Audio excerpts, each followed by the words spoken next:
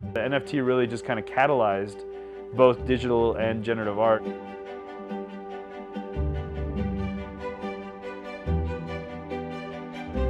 The NFT plays a role in the development of generative art uh, in such a significant way, but like you got to take a step back and realize that the NFT actually plays a role in the significance of digital art. Both generative art and digital art are mediums that, uh, up until the advent of the NFT, were not as celebrated as the more traditional art forms like sculpture and painting, oil on canvas, etc.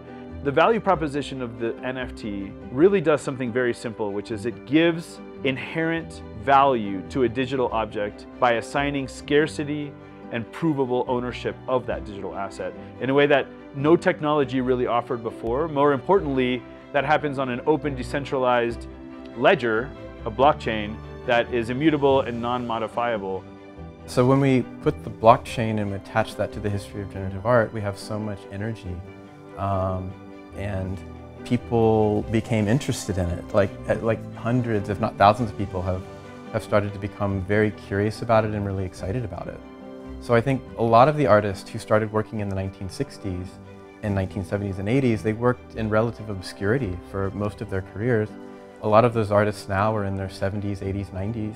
We still have that generation with us of people who worked in more traditional ways, began working with digital computers. And what we've seen in the last few years is a lot of new artists emerging. Um, I've never seen generative art have so much innovation, like so many new ideas coming at the same time. And it's just been extraordinary to see more opportunities and possibility for artists who are working in this form. The more people can participate in a more meaningful way in dialogue with the artist and artworks are in dialogue with each other. So yeah, the NFT really just kind of catalyzed both digital and generative art in a way that didn't feel like it had the gravitas uh, prior to that. I think one of the most important um, moments for the generative art and the algorithmic art movement is the birth of the blockchain.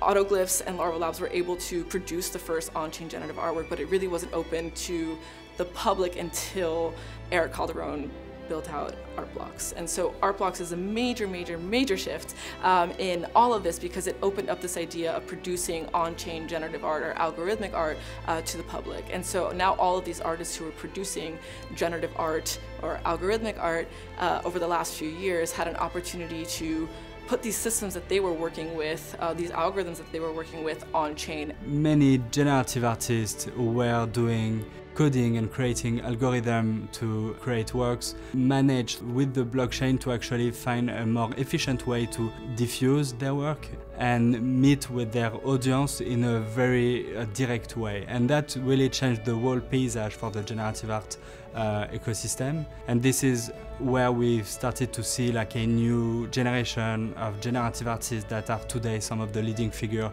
of this post-blockchain generative art movement. The concept of generative content built on top of the distribution mechanisms of digital art using cryptocurrency or blockchain technology enables massive amounts of participation within a creative work by a larger audience. And I wouldn't be surprised also that the invention of the computer and the algorithmic art becomes one of the new movements that open the door to many new possibilities for a new generation of artists.